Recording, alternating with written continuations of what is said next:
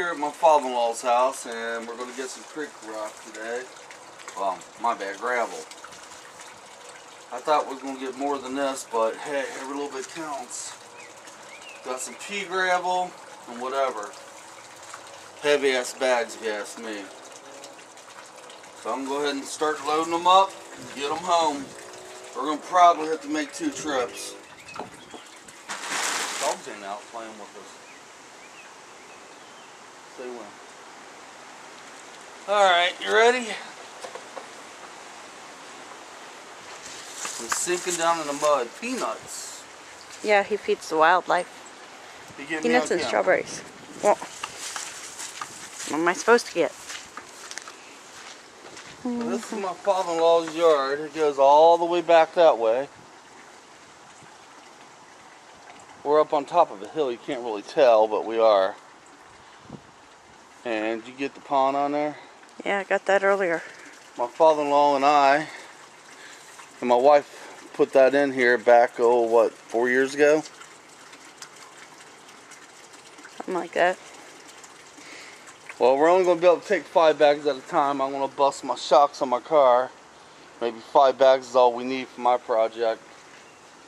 It's wet and rainy and cold. Alright, guys. My creek rock is in. And yeah, not exactly riding on the axles, but down there pretty far. It's a beautiful neighborhood up here. Yeah, I'm out of breath. See, I'll show you the distance. Had to, had to push it all the way up this hill and all the way around. Good distance. Had to push the wheelbarrow just to get the creek rock in, or gravel, pea rock, whatever the hell you got it. All right, we videotape when we get home. Okay, folks, this is what 12 bags of gravel and pea gravel gives you. Not much of anything. And the problem is, as we drive through here, it's gonna leave the ruts again. So, mu so much for our band-aid. Now what we really need to get done here is, we need to get this bulldozed out a little bit.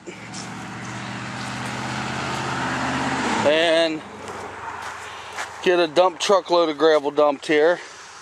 That's 300 bucks for the dump truck of gravel and I have no idea what it costs to get a bulldozed down.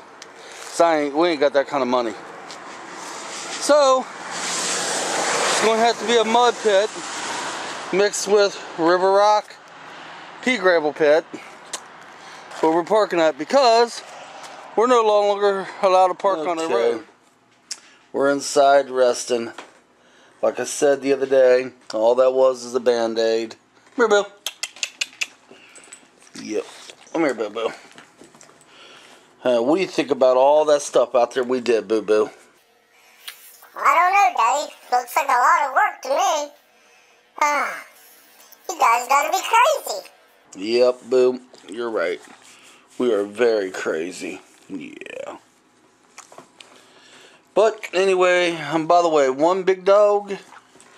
I will do your um oh your uh, tag video probably later tonight or tomorrow.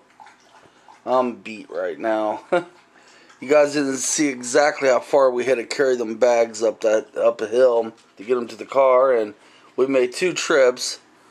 So, but it's a band aid. And this is one Bubba Mike one. Y'all have a good day.